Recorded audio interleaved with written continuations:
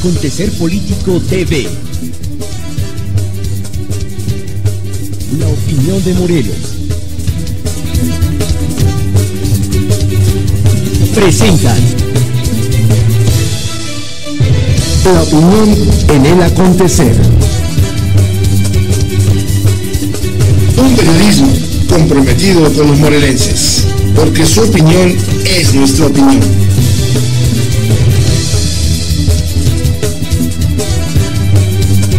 Hoy todo será distinto. La opinión en el acontecer. ¿Qué tal? Muy buenos días. Gracias por estar con nosotros en esta emisión de La opinión en el acontecer en este lunes ya 25 de mayo del 2015 y bueno, la cuenta ya regresiva para el próximo proceso electoral. Saludo con el gusto de siempre a mi compañero Héctor Parra. ¿Cómo Gracias, estás? Muy buenos días, gracias a todos. Pues efectivamente ya se agotan las, las campañas, ya día con día, este, pues la gente va, pienso yo que ya tiene hasta el momento por quién, sabe por quién votar.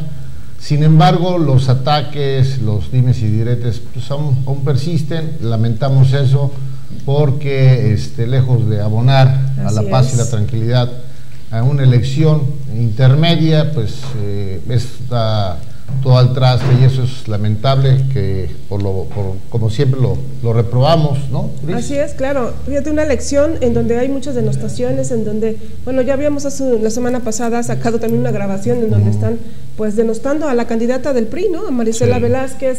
De repente, pues, también las lonas de Jorge Meseguer las encuentra rotas, eh, la quema de también de, de lonas. Y bueno, entre otras cuestiones ahí, ¿no? Que eh, los llamados también chapulines, eh, disque militantes de cada partido, pues se pasan de uno a otro, ¿no? Sí, la gente, pues, ya no cree en ellos, o sea, ya está como, este, en los sondeos que hicimos, porque también traemos unos sondeos, Héctor, que hicimos este, el fin de semana, pues la gente ya no quiere saber nada de nada ni de nadie. ¿eh?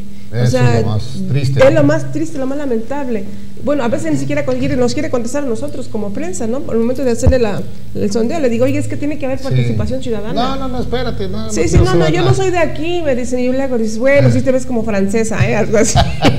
Pero bueno, eso es lo que pasa. Entonces sí debe de haber participación ciudadana. No importa que usted no quiera o no tenga algún candidato de su preferencia, pues vaya de todas formas y pues puede anular su voto, ¿no? En caso Bueno, de también, está, ¿no? mm, eh, también está en su derecho de, de no ir a votar, porque Sí, sus claro. razones tendrá para no ir. Sí, pero pues ¿no? también...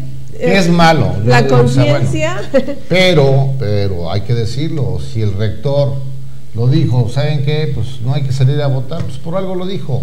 Así es. Entonces, de igual manera, si mucha gente te contesta de que no le interesan los partidos y menos los políticos, está en ese derecho y bueno, es este, a, final de cuentas, eh, es un derecho político que tenemos para salir a votar, ¿no? Pero sin embargo, si ya no quieren ellos, tampoco se le puede Sí, obligar. la culpa es de los partidos políticos. Por supuesto, Por y, poner y los políticos. Así es, para poner candidatos malos, candidatos que no dan el kilo, como dicen por ahí, candidatos que han estado de un lado para otro y estamos viendo... No, pero deja eso, que son corruptos, que no han hecho Exacto, un trabajo, o sea, sí, déjalo sí, que se brinque, ¿no? Oye, Rosalina Mazari, de diputada federal a diputada local, y otra vez quiere ser diputada Así es. federal, ¿no? Es Hortensia Figueroa, también de diputada local a presidente municipal, y ahora otra vez quiere ser diputada local. Pues lo O sea, que y hemos así como... dicho, no, no dejan, O no quieren dejar la obra presupuestaria. No la quieren dejar. Ahí la gente también me extraña porque digo, ¿cómo vuelven? ¿Cómo es posible Bueno, que ah, vuelvan a votar está. por esas personas? Como dice Héctor, si no hicieron nada, pues también hay que ser nosotros, este, ahora sí que como jueces, si no Pues hicieron análisis, nada. un análisis de conciencia. Sí, pues ¿para qué votar otra vez por, por ellos? Es, recuerda que ese voto pues es muy valioso, ¿sí? Más para los candidatos. Claro. Pero bueno, pues ya vamos a entrar en materia también de información. Fíjense que el fin de semana, para ser más precisos, el sábado, eh, pues se llevó a cabo esta marcha tan sonada que el obispo pues fue quien convocó la marcha también por la paz. Ya es la, quién sabe qué Tercera. número. No, yo creo que ya hay más, ¿no, Héctor? Tercera. La de las grandes, pues Sí, es la sí, tercera. sí, sí, tercera. Sí, la más- la de la- creo que esa fue la más grande, ¿no? Sí. Dicen que estuvo, Esta. pues, ¿esta? esta, más de 25 mil Sí, personas. increíble, la Sí. gente, fíjate que yo andaba por este, fui a por Cuatetelco y de regreso me tocó salir temprano y de regreso pues había, yo dije, bueno, pues qué pasó, no me acordé que efectivamente el sábado eh, iba a ser lo de la marcha, la convocatoria Y cuando regresé por que iba por Las Palmas, había ya un trafiquerío hasta Chipitlán. Yo dije, bueno, ¿qué pasó?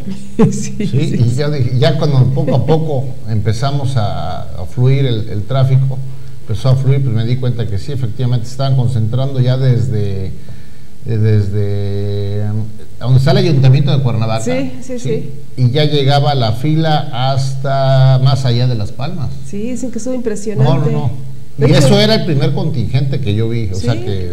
Pues estuvo cerrada todo el primer cuadro de la ciudad, estuvo bloqueado. Te digo porque Jorge Enrique, mi hijo, este, iba a la escuela, va los sábados a la escuela.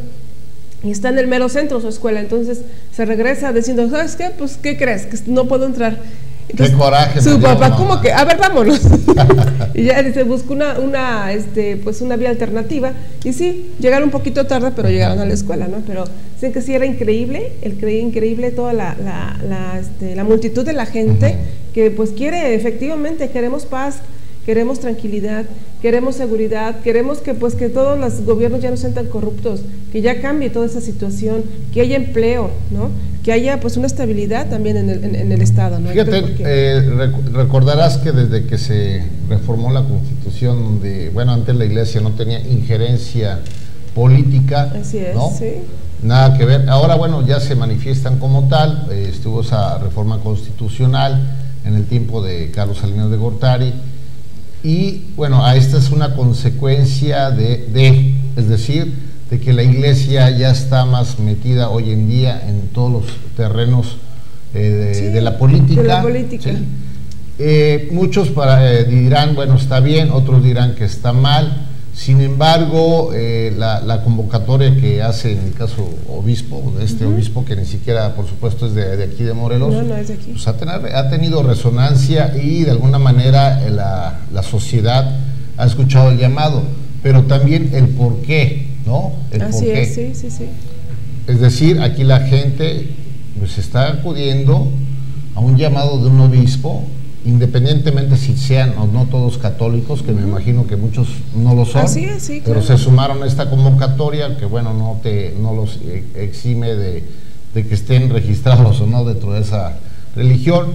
Sin embargo, aquí lo interesante es esta convocatoria que hace el obispo y la, y la respuesta ciudadana, ¿no? Así es. Fíjate que en su momento, como decías tú, Benito Juárez, eh, en Benemérito de las Américas, había separado, ¿te acuerdas? A la iglesia Sí. de, de la política. Sí, Porque decía que un mal, ¿no? Pero un mal necesario, ¿no? Pero yo creo que aquí hace falta líderes, buenos líderes, líderes, no, no tanto los estos que andan ahí liderando eh, a los, este, ¿cómo se llama? A un grupo de personas como, como vemos que van a hacer manifestaciones y plantas y plantan en la calle y ya están, la antorcha campesina es uno sí, de ellos, ¿no? Son beneficios nada más para ellos mismos, para los mismos líderes. Sin embargo, aquí el obispo, pues es un líder moral, ¿sí? Y yo creo que sí, la gente necesita eso, Héctor. Sí, no claro. hay, no hay. Pues se han acabado o lo- los han extinguido, o el propio Estado se ha, se ha encargado de extinguir a los, a los líderes eh, es. naturales, eh, como se les conoce, es decir, que salen de- desde abajo y que tienen este, el apoyo popular precisamente por lo mismo, por su trabajo, por lo- su honorabilidad, por su congruencia, ¿no? Sí, Entonces sí, sí, todo es eso. importante y bueno, qué bueno que participaron, también hay que destacar que no hubo eh, casos de No hubo incidentes, lamentar, así es, todo con tranquilidad. Pues fue todo tranquilo, fue una marcha pacífica como las que se han gestado desde que, de que se han hecho. Y bueno, qué bueno que se critique a las autoridades, qué bueno que, que se les ponga una- un llamado de atención, porque fíjate, yo me recuerdo una palabra de don Antonio Palacio cuando cubrimos la fuente gubernamental Sí. Decía, si ya iba saliendo de ya de, de su periodo eh, constitucional, y decía, no, pues ve, la gente ya está cansada de muchas cosas. Si así me lo hacen a mí, ¿qué pasará más adelante? Sí, Eso claro. fue una pregunta que él mismo se hizo, ¿no? Al- es decir, al aire. Y hoy lo vemos. La gente ya no está, ya está despierta. La gente antes no se manifestaba como tal, decía, no, es que va a haber represión, es que el Estado nos va a aventar la policía, que se dan casos, por Claro, supuesto. sí, sí, sí. Pero ve lo que son las cosas, hace más de 25 años esto. ¿no? Así es. Pero hoy también sabes por qué también, Héctor, las redes sociales son increíblemente eh, este, lo que estamos viviendo actualmente y miente lo que, lo que van a vivir nuestros hijos. Sí, no, no, Entonces la tecnología. ¿no? La tecnología pues ha ido avanzando y pues para bien o para mal, entonces nos enteramos de todo también a través de las redes sociales. Así es. ¿Qué es lo que estamos haciendo nosotros ahorita también para que a través de esta de este programa, a través de redes sociales, pues usted esté bien enterado, ¿no? También y tratar de pues de traer la mejor información que se pueda, ¿no? Muy bien. Pero bueno, eso fue lo de la marcha. Y bueno, ¿qué crees? Que también se colgaron varios políticos. Ah, bueno, pues era obvio. Por ahí, por ahí se dice que el obispo regañó a Cuauhtémoc Blanco, ¿eh? porque también se colgó de ahí de la marcha. ¿Tú qué haces aquí? Pues se le metió un golazo. se le metió un golazo. este, pero por ahí vimos también a Javier Bolaños. A Javier no vimos Bolaño, a Marisela, Marisela, Velázquez, ¿no? No, que no sé si fue Jorge Meseguer. ¿Quién sabe? Fíjate que no. Yo creo que no, ¿eh? Yo no lo vi, pues. No, pues yo creo que lo iban ahí a... Yo no lo vi porque no estuve ahí. Pero bueno, está bien, pues vamos, vamos, vamos con lo que sigue, porque también ayer hubo actividad, porque ahorita estamos en tiempo electoral, y sí hubo mucha actividad en donde pues también Marisela Velázquez estuvo muy movida también el día de ayer, y pues, ¿qué creen? Que alrededor de 12 líderes perredistas, ¿sí?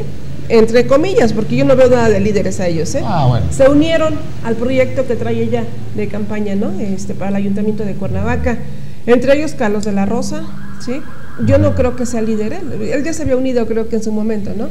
Sí. Este, este mm, Uriostegui, José Luis Uriostegui. Sí, bueno, está eh, Humberto Carlos Garduño García, sí. vicepresidente de la Asociación de Abogados, Ro- Rodolfo Trip López, secretario de la Cámara de Comercio, Fernando Vela López, director del Consejo Ciudadano de Seguridad, Jorge Santillán La- Lariz, presidente de la Asociación Adopta una Patrulla, Rafael Rueda Moncalán- Moncalián, presidente del Consejo Ciudadano de Seguridad, eh, Carlos de la Rosa, ya lo dijiste, este, y quién más, y José Luis Uriostegui Salgado, es candidato a la alcaldía por el PRD, o- Honorina Estrada Macedo, miembro activo de la Coparmex y consejera del Observatorio Ciudadano. Esos son los, pues las figuras, de alguna manera, que, Pero yo digo que una se cosa, unieron, Héctor.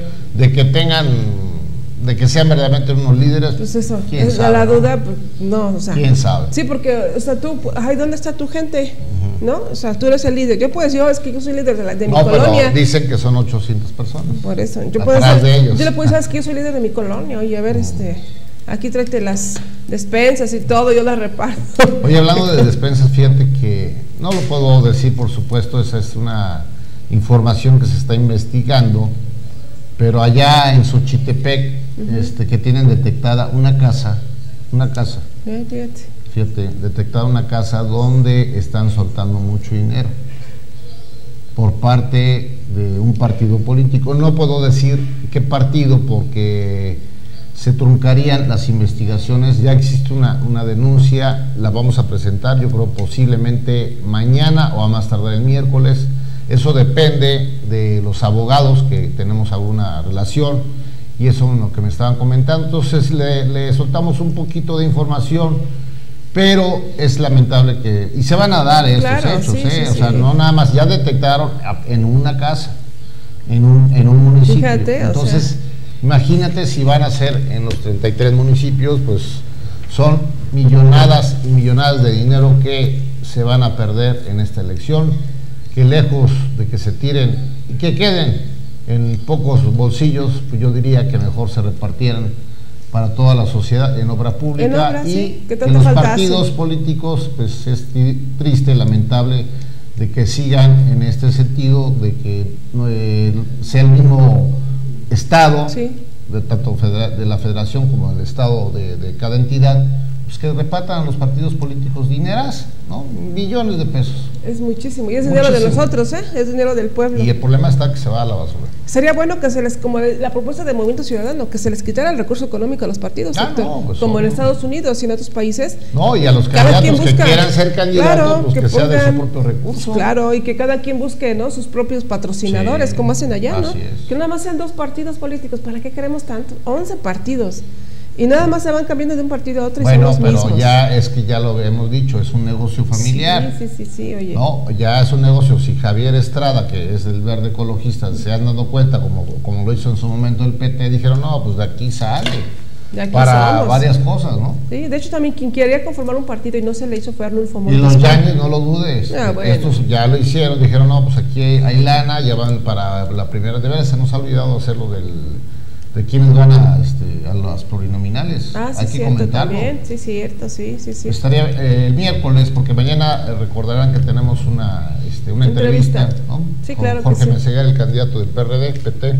Y por cierto, hablando de Jorge Meseguer, fíjense que también vino el líder nacional del PRD, sí, aquí a Morelos, bueno, Carlos Navarrete. Carlos Navarrete, y bueno, quien es el presidente nacional del Partido de la Revolución Democrática, dio su respaldo total a Jorge Meseguer, candidato a la alcaldía de Cuernavaca, en quien reconoció eh, gran capacidad y experiencia para recuperar la ciudad de la eterna primavera del abandono en el que se encuentra.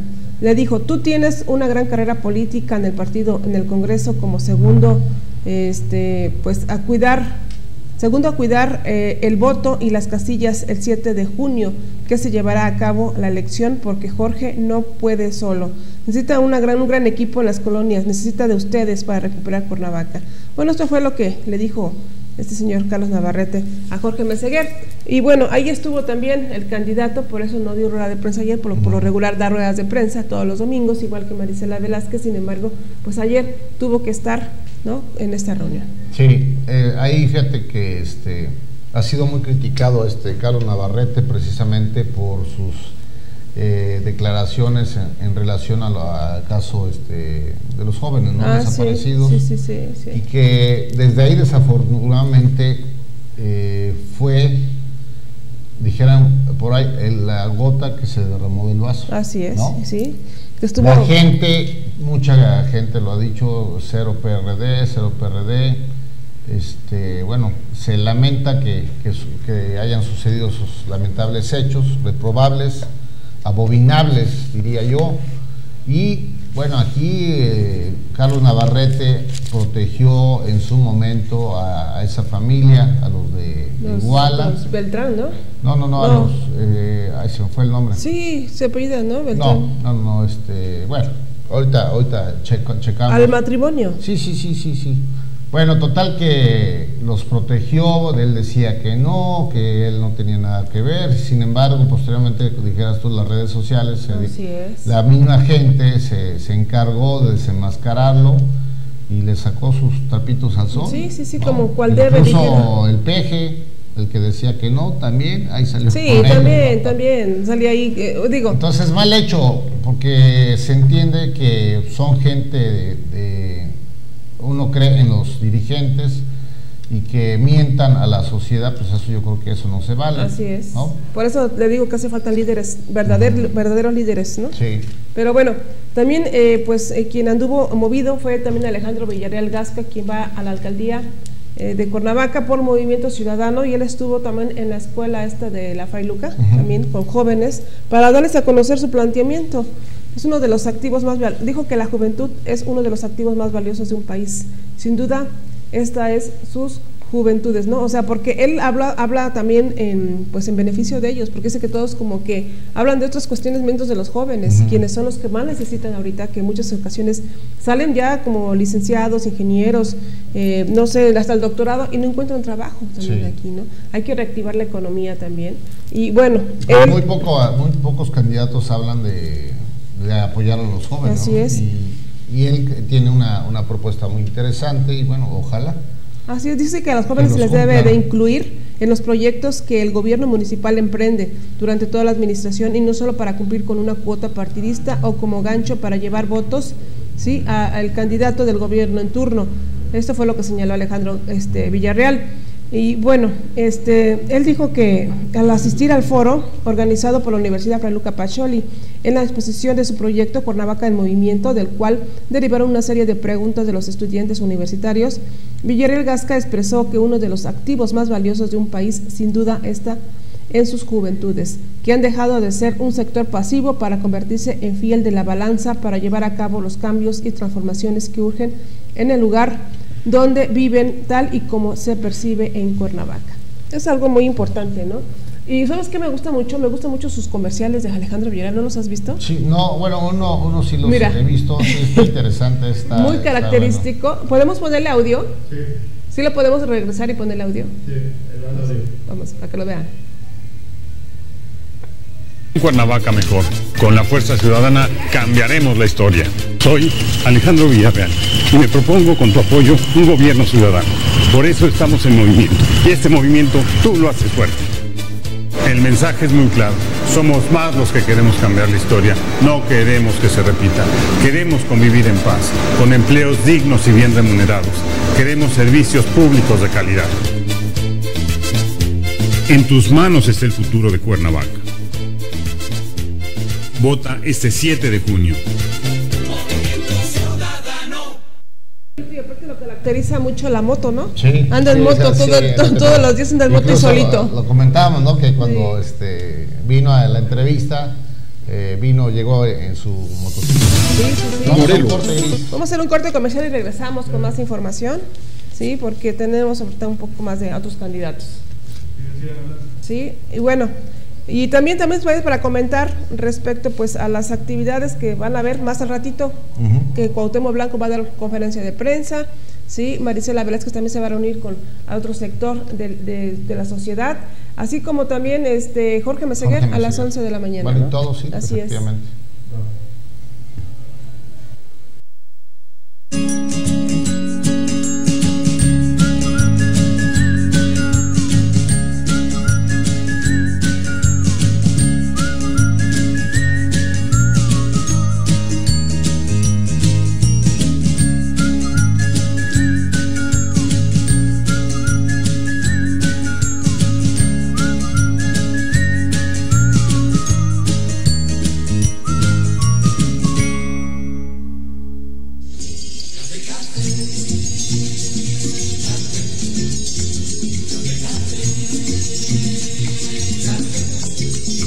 Cansado, cansado de buscar un buen café aquí en Cuernavaca, ven con nosotros a Cafetería El Negrito.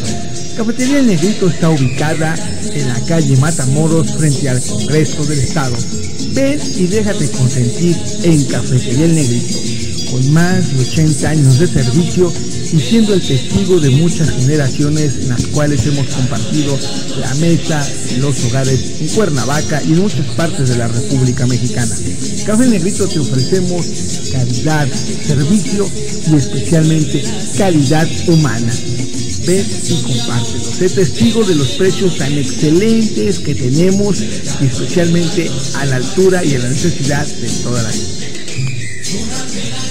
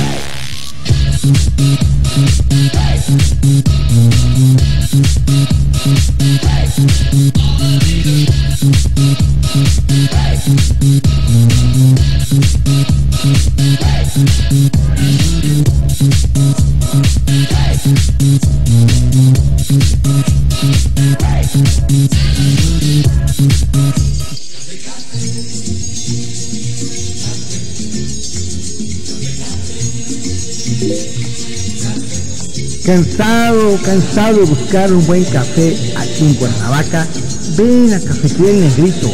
Estamos ubicados en Álvaro Obregón 614, abajo del IFE. Ven y prueba este delicioso café y sé testigo de cómo se hace tu preparación. Una preparación totalmente diferente porque es un tostado tradicional. Más de 80 años en el mercado nos respaldan. Hemos sido testigos de muchas generaciones las cuales han deleitado una buena charla o una buena sobremesa con el café El Negrito. Prueba la gran variedad que tenemos en el mercado llámanos al 1312-3220. Ya estamos de regreso, gracias por continuar con nosotros aquí en la opinión del acontecer. Y bueno, también usted puede participar, ¿eh? Para que usted denuncie, denuncie, participe, ¿no?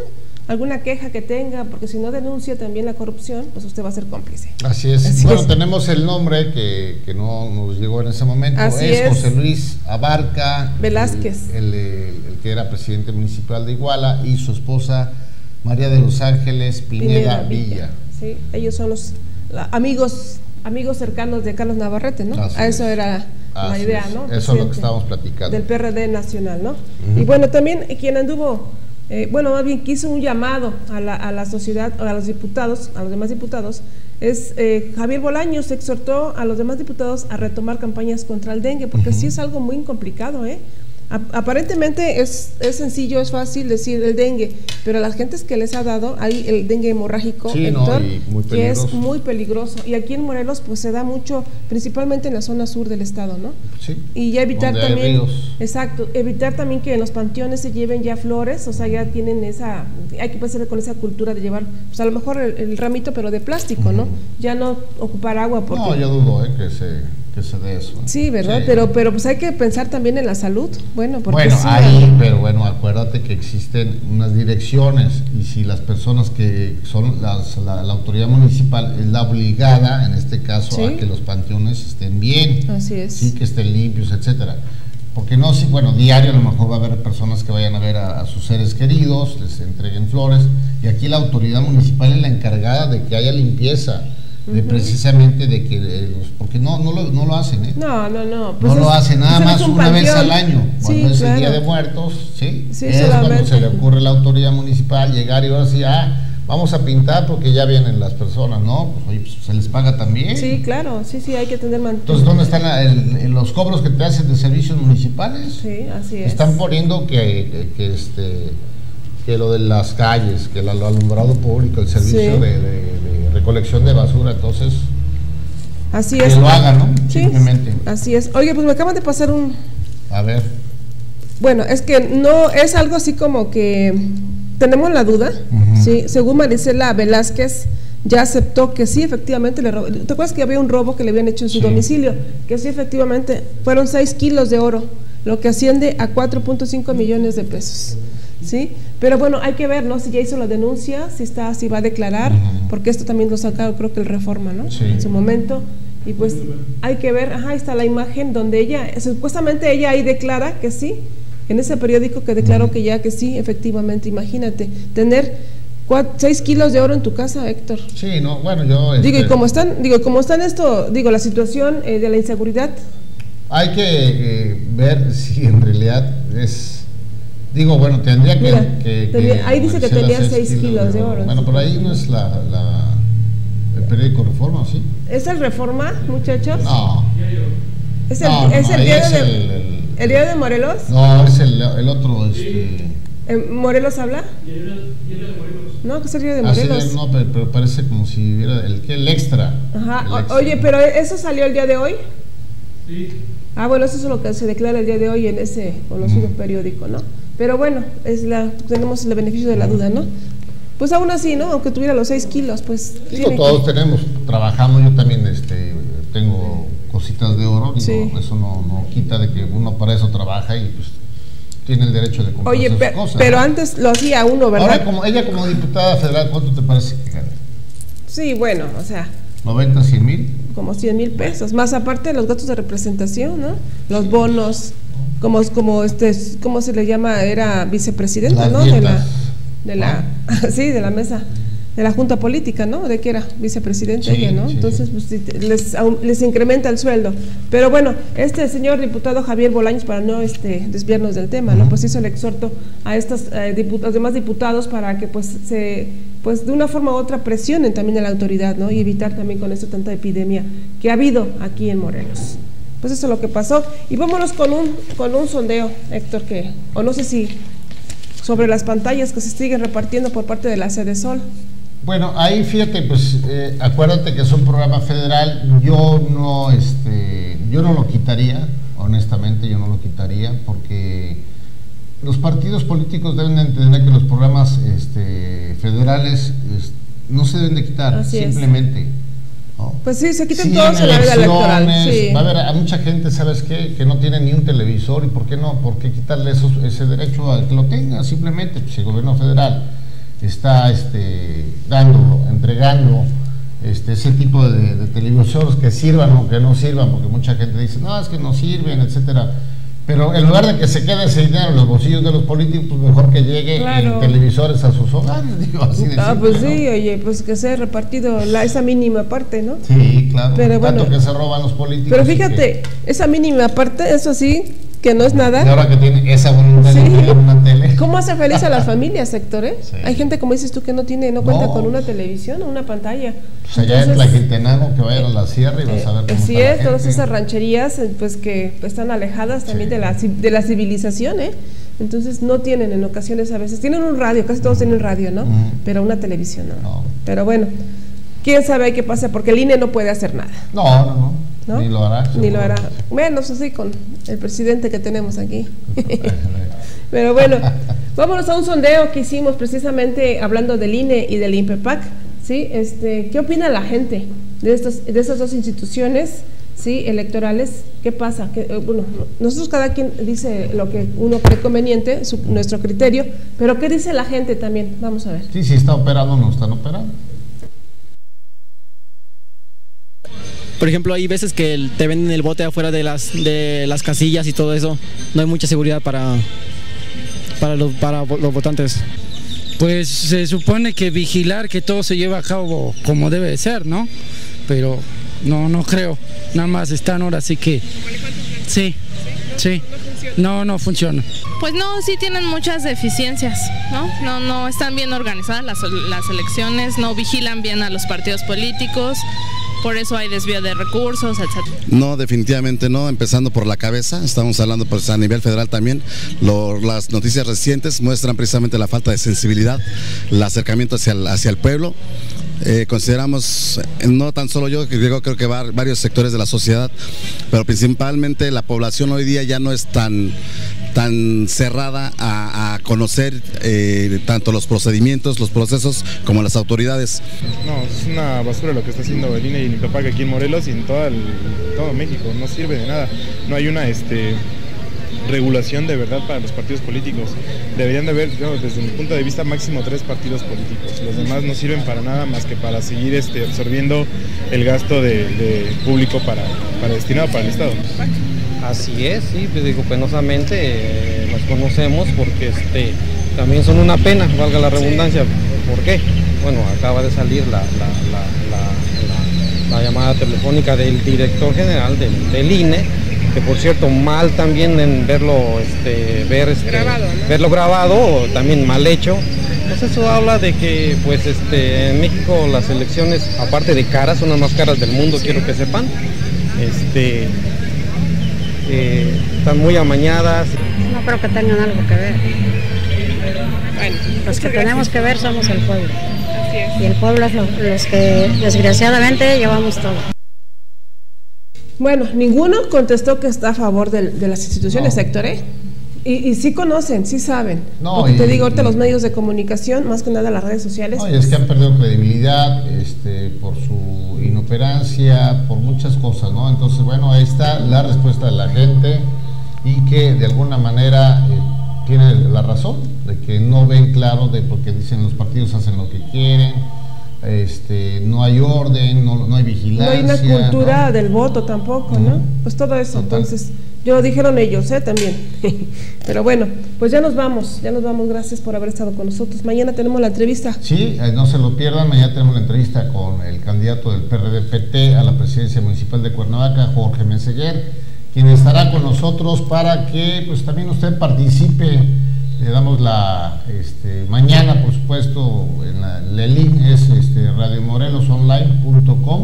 ahí eh, puede hacer el enlace y en la parte de abajo ahí puede hacer sus preguntas. Así es, así el chat. Ajá. ¿no? Platicar con nosotros, preguntar al candidato y, o también al, al 311-4740 y 311-4741. Así es, gracias a todo el equipo que hace posible este programa, pero principalmente gracias a usted. Nos vemos el día de mañana, si Dios lo permite. Muchas gracias, muy buenos días.